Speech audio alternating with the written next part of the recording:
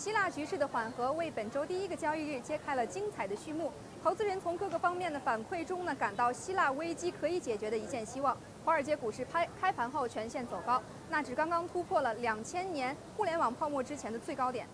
我们具体了解一下目前希腊的具体局势。据道琼斯新闻社报道，希腊呢预计明年开始全民削减退休金，退休年龄更是推迟在了六十七岁。那么债权方方面称呢，正是考虑与希腊政府达成协议，但是前提条件必须是希腊做出让步。此外呢，欧元区领导人在当地时间周一召开的紧急峰会中也提出了新的提议，这大大提振了与希腊达成协议的希望。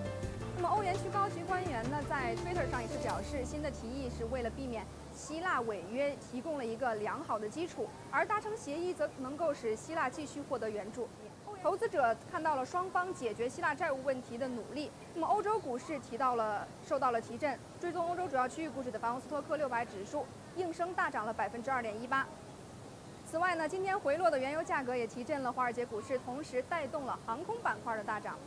金融机构 J.P. Morgan 指出呢，航空股作为一个近期的板块已经被过度抛售。